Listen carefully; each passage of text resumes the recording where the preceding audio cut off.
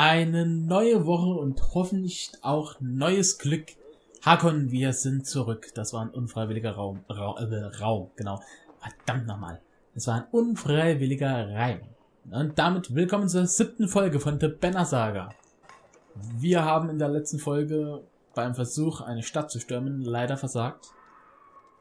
Und haben jetzt die Karawane wieder gewechselt. Von, ja, ein bis, naja. Keine Ahnung, was mit Wurk ist. Ich hoffe, sie haben überlebt, trotz unserer Niederlage. Wir sind jetzt wieder bei Hakon, der Karawane, die wir in den ersten Folgen begleiten durften. Also, Hakon, wir sind zurück. Ich konnte etwa so viele Krieger aus Strand holen, wie du wolltest. Waffen sogar mehr. Sondervorräte auch. Du hebst den Kopf. Erst jetzt merkst du, dass Morgro mit dir redet. Seit Wognir tot ist, erwartet jeder, dass du die Entscheidungen triffst. Es ist ermüdend. Hakon? Ich hab dich gehört. Was hast du gesagt? Tut mir leid, ich bin nur müde. Fahrt fort. Ich sagte, dass die Wahl zurück sind, die wir nach Strand geschickt haben.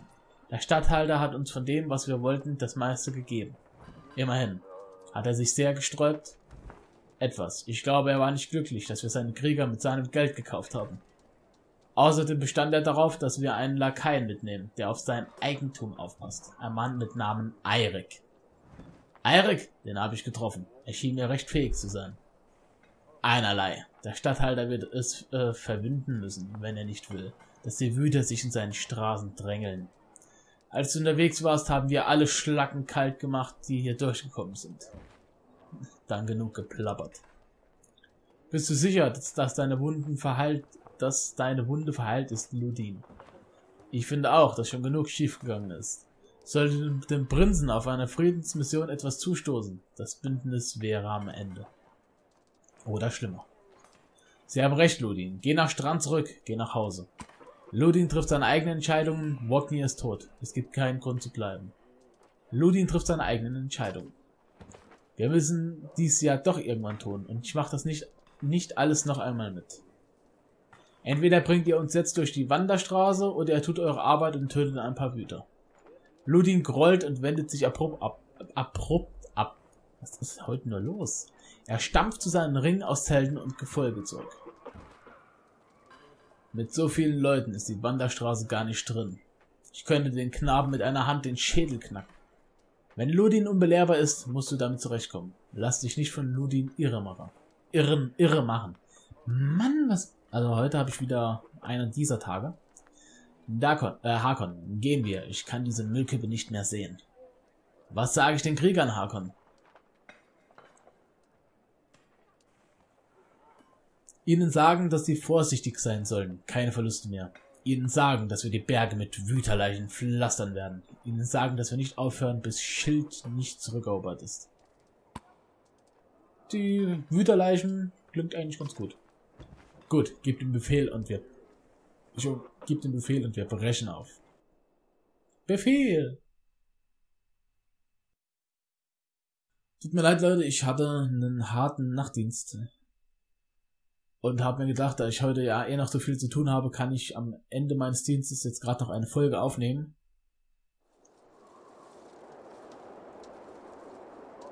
Ach, sorry.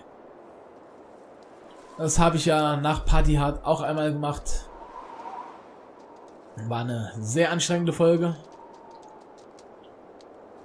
Aber wir, verdammt nochmal, die Party muss ja weitergehen, beziehungsweise die Saga.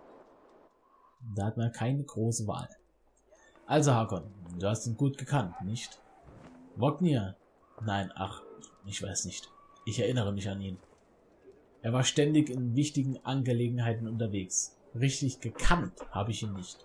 Ich habe nur selten mit ihm reden können. Öfter als ich aber schon. Das kann sein. Wenn er sprach, hörten die Wahl zu. Das wusste ich. Da könnte ich Hilfe gebrauchen. Der Schreiber lehnt sich zurück und erwägt den Gedanken. Ich habe es schon schlimmer gesehen. Sie respektieren dich wegen deiner Fähigkeit, mit einer Axt umzugehen. Sie müssen dich deiner Taten wegen respektieren. Aber du sprichst nicht mit den richtigen Wahl. Mokro hat was drauf. Ich kann nur eine Schreibfeder führen. Und mit den Augen wackeln. Was schreibst du eigentlich alles in dieses Tagebuch? Ich hörte, du wärst mal ein schrecklicher Kerl gewesen. Was meinst du, was mit der Sonne passiert ist? Erhol dich lieber, wir müssen noch weiter marschieren. Ja, was schreibt ihr da eigentlich? Was meinst du das, was ich schreibe? Ich schreibe auf, was geschieht. In Arberang haben sie ein Banner dafür, weißt du? Du meinst das lange Banner? Ja, die Magier haben etwas gewebt, das sein eigenes, das seine eigene Geschichte aufschreibt. Willst du wissen, was ich davon halte? Ich traue ihm nicht. Nein? Es erzählt eine ausführliche Geschichte. Ich glaube, die Knappen sind wertvoller. Wessen Geschichte schreibt es denn auf? Meine? Ihre? Ludins? Mögen es die Götter verhüten. Ha! Du Relikt, die Götter sind schon lange tot. Oh, tatsächlich, muss die Macht der Gewohnheit sein.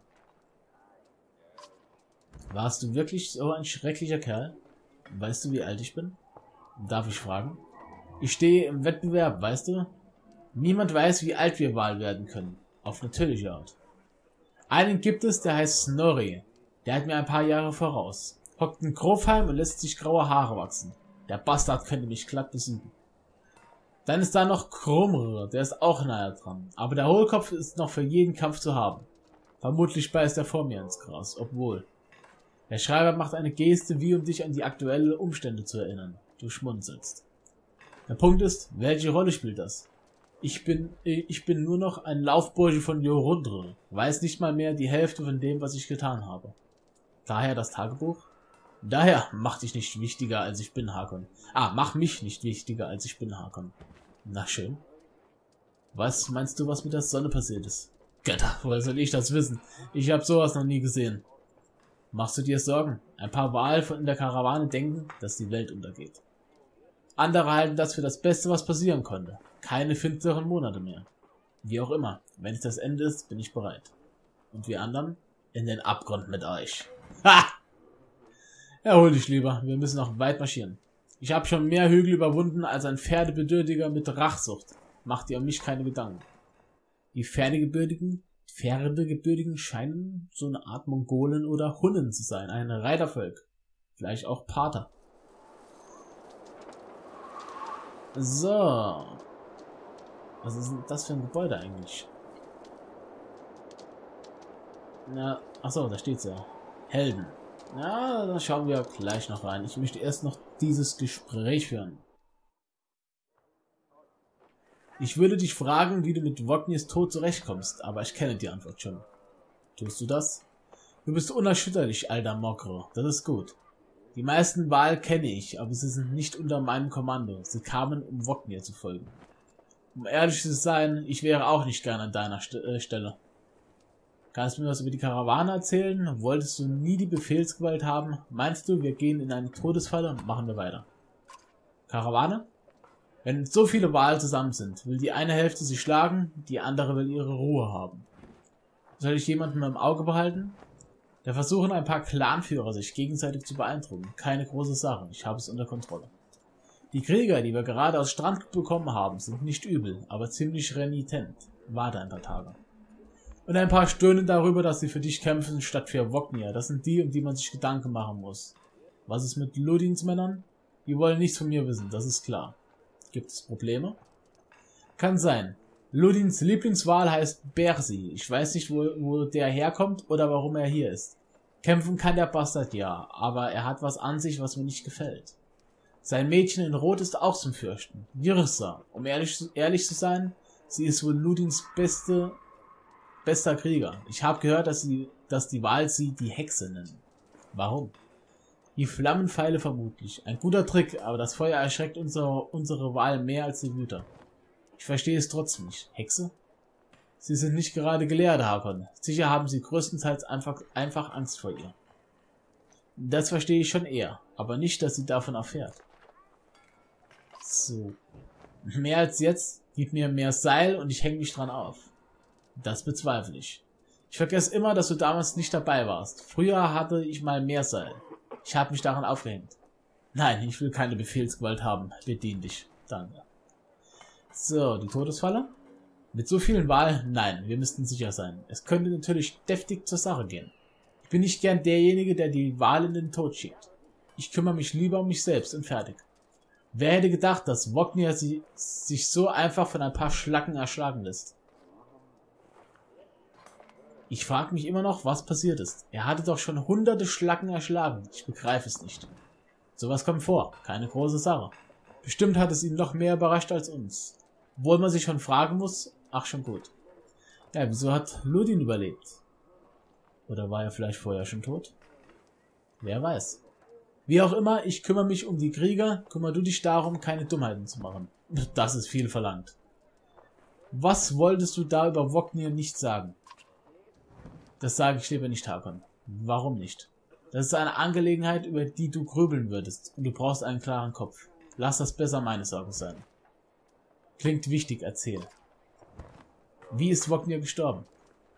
Er ist Wüder reingerannt, unerwartet. Wir fanden ihn mit dem Gesicht nach unten, als hätte ihn etwas von hinten erwischt. Hat er sich wirklich von irgendwelchen Schlacken besiegen lassen? Wer war noch dort? Du meinst Ludin?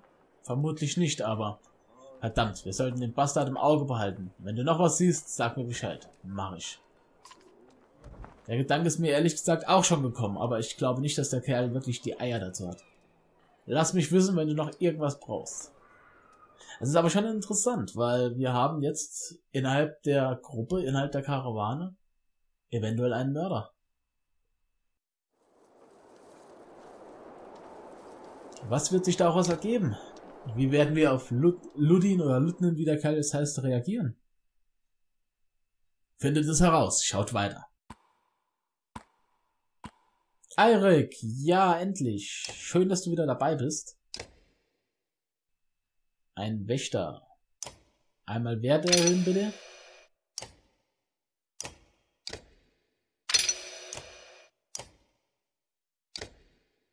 Ich habe hier jetzt Punkte, die soll ich mal ausgeben.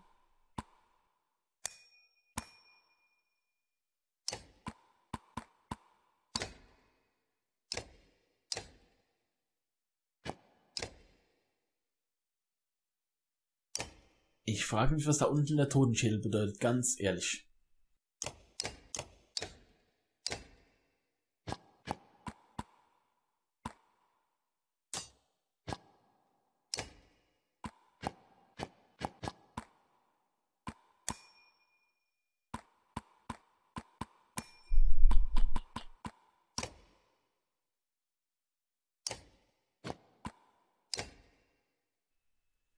Getötete Gegner 3.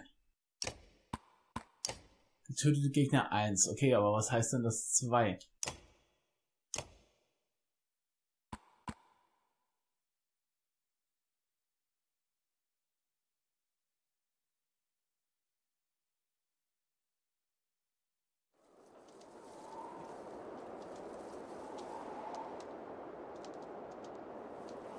Markt scheint es hier nicht zu geben, dann würde ich sagen, wir machen uns wieder auf den Weg.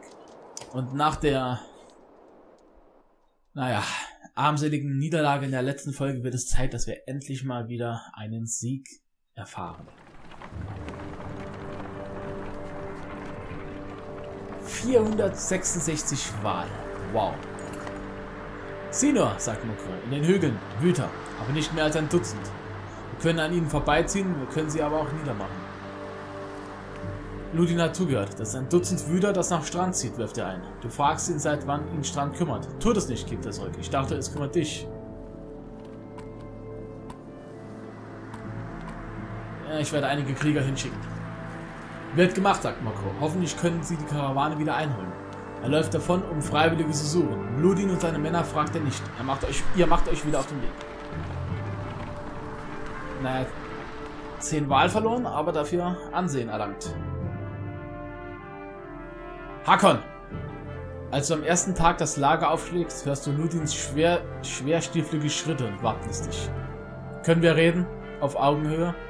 Wir können es versuchen. Mir scheint, dass ihr auf dem Weg einen Haufen Wüter töten wollt. Stimmt das? Wir töten nur Wüter, wenn es nötig ist. Wenn es nötig ist? Das ist doch lächerlich. Bild dir nicht ein, dass nur Wahl kämpfen können. Verstanden? Wir tragen mein Banner nach Grofheim, das Banner von Aberrang. Ich bestehe darauf, am Kampf teilzunehmen. Du hast dich beim ersten Scharmützel fast ausweiten lassen, aber du willst mehr? Wie du wünschst. Wün wünscht. Du wünschst, Prinz. Bäh. Und, äh, ich hatte mehr Widerstand erwartet. Von Wognir vielleicht. Angeblich warst du sein Kentre. Darum hast du jetzt das Sagen. So ähnlich wie Verwandtschaft. Ein Wahlding? Übernimmst du nicht seine Verantwortlichkeit? Deswegen schert mich nicht, was mit dir geschieht. Auf meine Art, warum tust du so hart, Kleiner? Sei, sieh doch nicht auf mich herab. Wag es ja nicht. Wenn er fast 200 Jahre alt ist, ist es schwierig, einen 20-Jährigen, stimmt das, ernst zu nehmen. Fang besser an damit. Wir werden beide einst Könige sein. Das ist das Letzte, worüber ich jetzt nachdenken muss. Ludin sieht dich an, als hättest du dir gerade selbst ins Gesicht geschlagen. Er kehrt zu seinem Zelt zurück, ohne gesagt zu haben, was ihm auf der Zunge lag. Ja, schade. Ich glaube nicht, dass ich, dass ich es schaffe, dass die beiden Freunde werden. Anstrengung. Du hast einige Charaktere mit hohen Anstrengungswerten erhalten. Unterschätze diesen wichtigen Wert nicht. Anstrengung lässt sich deine Aktion mit mehr Willenskraft ausführen. Du willst deinen Angriff mehr als einen Stern hinzufügen? Eine Verbesserung des Anstrengungswertes auf 3 lässt dich 3 Schadenspunkte pro Angriff mehr bewirken. Oder drei Felder weiter als üblich ziehen, wenn du die nötige Willenskraft hast. Denk dran, jeder Wert ist im Kampf gleichermaßen wichtig. Wähle weise.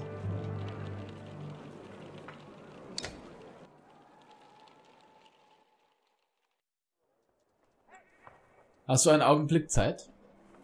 Als du die Sperse näherst, lässt er das Buch sinken, in dem er gelesen hat. Eigentlich kommt er dir nicht wie eine Leseratte vor. Du bist Bersi. Du bist Harkon. Und das hätten wir geklärt, wie? Ich hätte ein paar Fragen. Sag, was du zu sagen hast. Was macht ein Wal, der für Ludin arbeitet? Wo hast du kämpfen gelernt? Kann ich dir trauen? Ich will dich nicht länger aufhalten. So, was macht ein Wal für einen anderen Wal? Welchen Unterschied macht das? Sieht aus, als wärst du jetzt zuständig, also tu mir den Gefallen und lass nicht zu, dass Ludin stirbt. Er ist dir wichtig? Nein, das ist nur eine Redewendung. Wo hast du kämpfen gelernt? Genau wie du, beim Kämpfen. Du weißt, was ich meine. Ich habe mein Leben lang gut geschützte Kaufleute ausgeraubt. Meinst du das? Ja, und jetzt nicht mehr? Ich habe schon viele Berufe gehabt. Kann ich dir trauen? Was für eine Fangfrage. Kommt drauf an, was du meinst. Wer wird dir Wer wird dir im Zweifelsfalle helfen? Was, wenn ich auf mich selbst aufpasse und du das schon irgendwie rausfindest? Versteht Ludin das? Ludin versteht nicht mal, dass die Hälfte seiner Armee nur hier ist, um ihn vor den Leuten zu beschützen, mit denen er redet. Du lachst über den unerwarteten Scherz. Bersi grinst und ist zufrieden mit sich. Was willst du wissen? Wir sehen uns auf dem Schlachtfeld, Oho Oberhaupt der Wahl. Du könntest zu uns stoßen. Ich bin da, wo ich sein will. Vergiss nicht, was ich sagte. Darüber auf Ludin aufzupassen. Verstanden? Während du weggehst, fragst du dich, ob in der harschen Forderung nicht eine Drohung lag. Interessant. Interessant. Ach, da haben wir ja die Hexe. Bin ich mal gespannt. Jirsa, nicht wahr? Sie sieht dir erhobenen Hauptes entgegen und deutet mit dem Daumen auf Ludins Zelt. Nein, ich bin deinetwegen hier. Ach. Oh Gott. Können wir reden? Irissa schüttelt lächelnd den Kopf, Augen halb geschlossen. Warum nicht? Das mache ich nicht. Diese paar Widerworte machen dir zweierlei klar. Sie hat eine schöne Obsidianstimme und dieses Unterfangen könnte die reinste Zeitverschwendung sein. Sie sieht dich erwartungsvoll an. Du bist Ludins Leibwahrer? Nein, er ist meiner. Ehe du verwirrt sein kannst, fängt sie abrupt und laut an zu kichern. Dann zieht sie leicht beschämt rein. Aber du bist doch seine persönliche Wache. Ihr Austrag sagt jetzt natürlich. Wie bist du an so jemanden wie Ludin geraten? Glück. Ah, du redest nicht? Nein, aber doch jetzt gerade. Tue ich nicht. Sie lächelt freundlich, ihr Spiel amüsiert sie sichtlich. Es geht um die Flammenpfeile. Sie hebt eine Augenbraue. Wahl und Feuer vertragen sich nicht. Du erntest nur ein Achselzucken. Wenn du sie einsetzen willst, sie zieht einen Pfeil und macht eine schnelle Handbewegung, die du nicht richtig mitkriegst. Plötzlich geht hinter dir im Baum ein Vogel in Flammen auf und fällt schwellend zu Boden. Das halbe Lager sieht zu. Sag mir nicht, dass ich das nicht tun soll. Tja. Sie verschränkt die Arme, eine Hand am Kinn und legt den Kopf schief. Bis zum nächsten Mal, Jirissa. Hakon. Du hältst an und blickst über die Schulter. Ich bin eine Hexe, also sieh dich vor. Sie legt den Finger auf die Lippen und macht leise Psst. Du gehst ohne zu wissen, was du davon halten sollst. Ah. Laufen hier eigentlich auch normale Gestalten rum oder erwische ich irgendwie immer nur Spinner? So, Training, Rasten, Verlassen. Was haben wir noch? Äh, Helden. Ne, sonst haben wir nichts. Nichts, was uns, was uns interessiert. Verlassen wir auch dieses Lager. Hm. Wäre eigentlich eine gute Stelle für einen Cut gewesen. Ja, machen wir einfach mal weiter.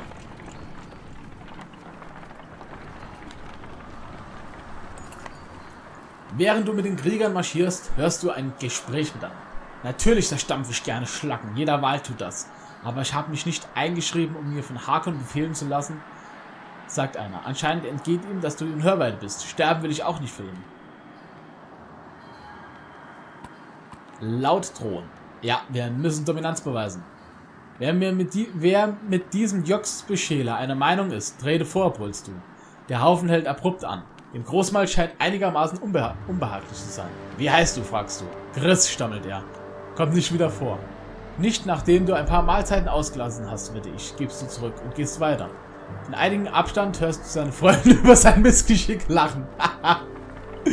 Geil.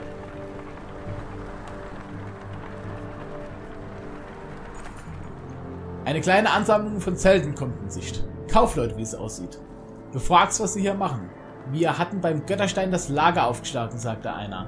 Und denk, Denkel, kein Wunder, dass die Götter gestorben sind. Die haben sich, sind alle an ihrer eigenen Zunge erstickt, weil ein Knoten drin war. Äh, ein Opfer gebracht, wie es der Brauch will. Sein Ausdruck verfinstert sich. Dann tauchten Wüter aus dem Nichts auf. Einige von uns blieben dort. Sie dachten, der Götterstein schützt sie. Weiß der Kuckuck warum. Seitdem weichen wir den Wütern aus fragen, ob sie was im Handeln haben. Versichern, dass der Weg nach Strand frei ist und sie verabschieden. Ah ja, wir könnten schon was gebrauchen. Nicht viel, gab er zurück. Alles, was wertvoll war, ist beim Götterstein geblieben. So viele Wale habe ich noch nie auf einen Haufen gesehen. Zieht ihr aus, um gegen diese Wüter zu äh, kämpfen? Du nix. Wir könnten ein paar Vorräte entbehren, wenn ihr sie braucht. Äh, ihr bekommt sie umsonst. Eine freie Straße ist schon mehr, als wir verlangen können. Eine Bitte habe ich jedoch.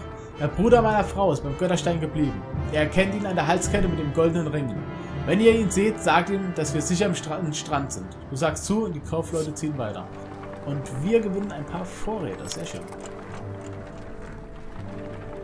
Allerdings sind wir auch ein groß, äh, sind wir auch eine große Karawane, da brauchen wir entsprechend Vorräte.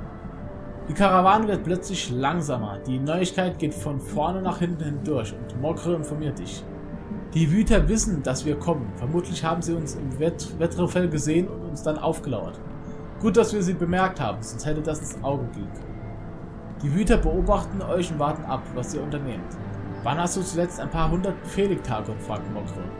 Denk nicht zu viel darüber nach, die Krieger können auf sich selbst aufpassen. Krieg. Wenn du mehr Feinden begegnest, als dein Trupp verkraften kann, bricht ein Krieg aus. Erteile deiner Armee entsprechende Befehle, aber sei darauf gefasst, dich auch selbst ins Geschehen zu werfen. Wenn du dir den Kampf einfacher machst, hast du mehr Verluste. Wenn du einen schwierigen Kampf auf dich nimmst, rettest du mehr Leben.